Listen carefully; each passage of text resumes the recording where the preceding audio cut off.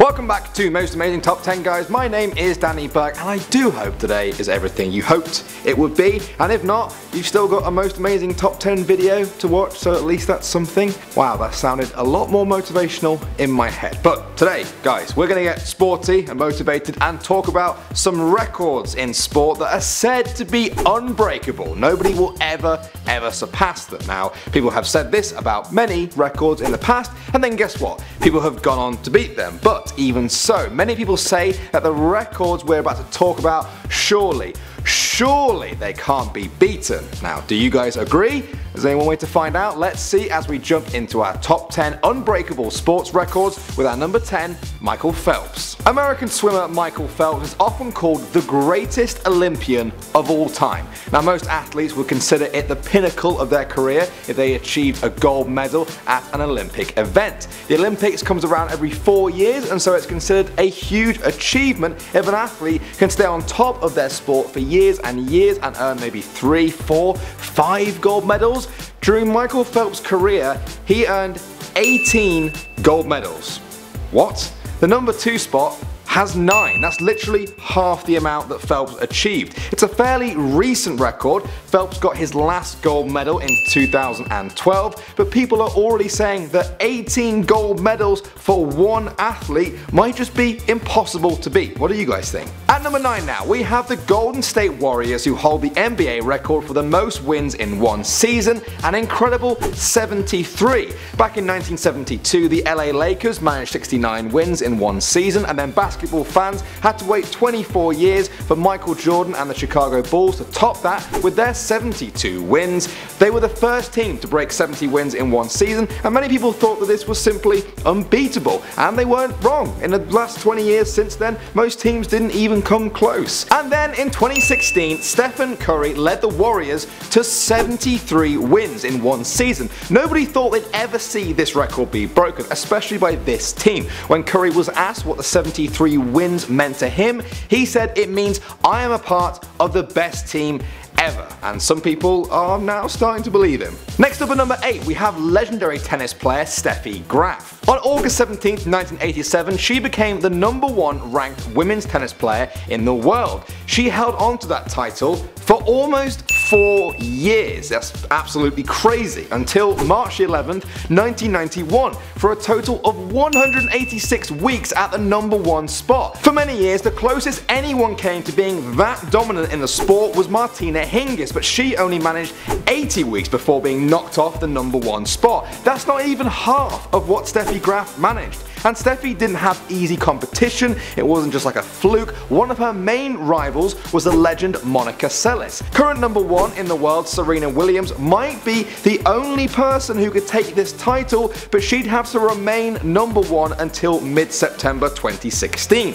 Only time will tell. Now at number 7 we have Kareem Abdul-Jabbar who holds the record for the most career points in the NBA history with an astounding 38,387. Legends of the game like Wilt Chamberlain and Shaquille O'Neal don't even come close to this. Even Michael Jordan trails by 6,000 points. Kareem was a 7'2 legend of the sport who spent most of his career with the Milwaukee Bucks and LA Lakers, finally retiring in 1989 with a whole slew of records including most minutes played and most field goals made. He eventually lost those titles over time but today, 27 years on, nobody, nobody looks like they're ever going to beat that incredible amount of career points. The best hope in almost three decades was Kobe Bryant. He was only 5,000 points behind Kareem, but then he retired in April 2016. And now people are seriously wondering if this sporting record will ever be beaten. Now at number 6 we have something I actually remember watching. Yes, I will never forget this tennis match we're about to talk about. How could I? It was the longest tennis match of all time. However you look at it, either by time or number of games, the 2010 Wimbledon match between American John Isner and French Nicolas Mahut is the longest tennis game since records began. The game started on the 22nd of June but had to be postponed until the next day because of fading light. Yes, they literally ran out of sunlight. Then the next day, the same thing happened. On the third day, John Isner finally, finally won. Over the course of those days, the match lasted 11 hours and 5 minutes, smashing the previous record by over 4.5 hours. The score actually got so high that the scoreboard at the event broke. Yeah, it actually just broke because it wasn't programmed to go that high. Mental. Moving on to number 5 now, we have Paula Radcliffe, who currently holds the record for the fastest women's marathon time of all time. In 2003, Paula ran the London Marathon in 2 hours, 15 minutes and 25 seconds, beating her own record by more than 2 minutes. That was 13 years ago, and nobody has since come close to running 26.2 miles that quickly. It's simply amazing. There doesn't seem to be any explanation for how Paula ran that fast, other than she was obviously dedicated to it. She was obviously built for it and she had an amazing training regime. In an interview, Paula Radcliffe once joked that her daughter Isla, who was born in 2007, might be the only person who will beat her own record. Now you might think that's ridiculous, but to be honest, it's been almost a decade now and people are starting to believe it. At number 4, we have the fastest man on the planet at the time of recording this video, Usain Bolt, who holds the record for running 100 meters in a mind-blowing 9.58 seconds. Now he actually holds the top 3 spots for this as if one wasn't enough and he's the only person who seems to be able to beat himself. It's been 7 years since Usain Bolt broke that 9.6 barrier and a lot of people are wondering will anyone be able to even run 100 meters in less than 9.58? Is it even physically possible? In 2008 a mathematician calculated that it might be physically possible for someone to do it slightly quicker but only up to 9.44 seconds. Now scientists have weighed up a whole bunch bunch of possible conditions to try and predict if it will be possible, but the truth is, no one knows. It seems like the only way for Usain Bolt's record to be broken is to just sit and wait, but seeing as he's the only competition he has at the moment, we might be waiting a while. Moving on to number 3 now, we're going back in time to talk about Cy Young and possibly the greatest baseball record of all time. During his 22 year long career in the MLB, he managed 511 wins. I'm pausing for effect. That's almost 100 more wins than Walter Johnson who got 417. He was in second place. In fact only 24 players have ever managed to break the 300 mark.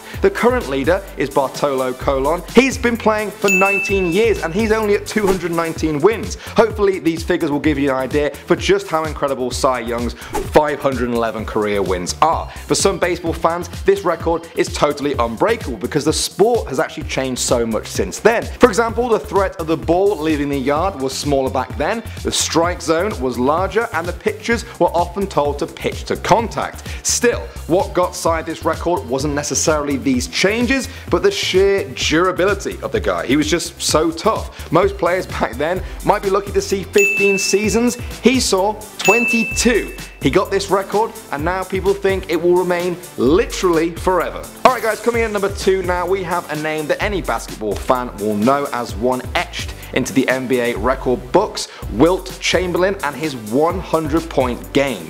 In 1961, Wilt shocked the world by scoring a staggering 78 points in one game. People were amazed and were speculating that perhaps one day, maybe, 80 points might be beaten. Just three months later, Wilt proved that and more was possible by scoring 100 points in his legendary game for the Philadelphia Warriors versus the New York Knicks on March 2, 1962. The game was not actually televised and no video footage has ever surfaced, but there are sound recordings of the game's fourth quarter as it was being broadcast on the radio. Over Wilt's career, he racked up at least a dozen NBA records that many now see as being unbreakable, but this one is widely agreed as the best. In January 2006, the world held its breath as Kobe Bryant played a spectacular game that looked promising to take the title, but he still fell short with 81 points. It's been 54 years now since Wilt set that record. It's been a long time, over half a century, and people have almost given up on seeing it ever being broken in their lifetimes. It's a truly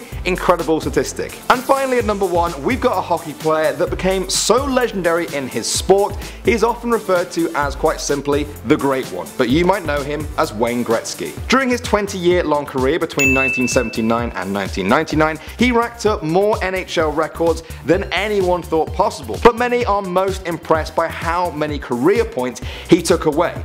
A mind-bending 2,857 of them. That's more than 1,000 more than his nearest contender in second place. Place. The average number of points that a professional hockey player gets per season is about 112. Now if they managed to bring that up to an impressive 140 and then consistently did that for about 20 years, they still wouldn't be able to beat Wayne Gretzky's record. How crazy is that? It's the simple fact that he is so far ahead of anyone else and has been for 17 years since he retired that makes people seriously doubt this record will ever be broken. They don't call you the great one for nothing.